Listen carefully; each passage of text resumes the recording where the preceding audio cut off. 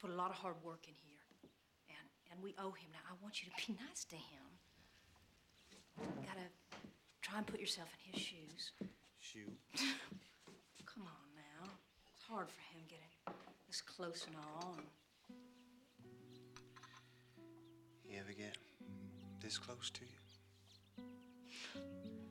I guess he did.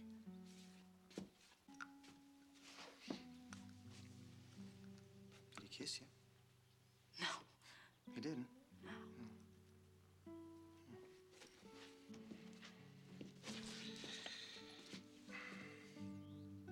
Did you want him to?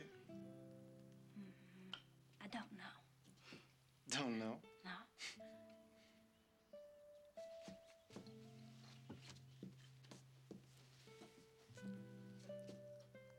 Did he want to kiss you?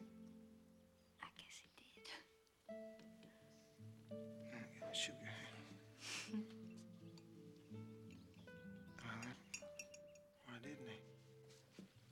Because I never said that he could. You said he couldn't? No. No. Let me get this straight here. He wanted to. But you didn't know. So he didn't ask and you didn't say. So he didn't and you weren't. But he's not here and I am and I want to. So I want to go ask.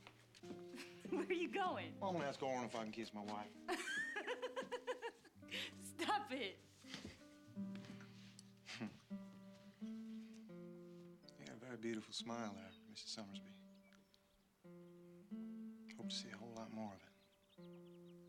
Well, you will.